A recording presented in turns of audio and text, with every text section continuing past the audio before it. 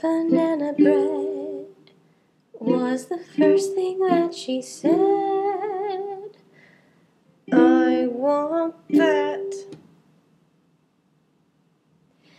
Then I'll have some cookie dough, pack it up and me to go. Yummy.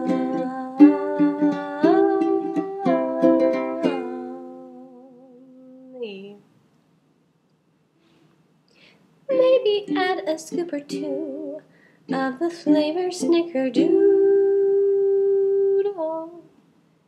Snickerdoodle, snickerdoodle, and some snickerdoodle. I basically love to eat most anything, especially things that are sweet and soft and gooey and chewy and chocolatey and things that make your tummy warm, like when you remember childhood memories, like that one time when you woke up at the crack of dawn to take your very first flight to Disneyland. Oh, that was good. That was really good. Things like that. Yummy.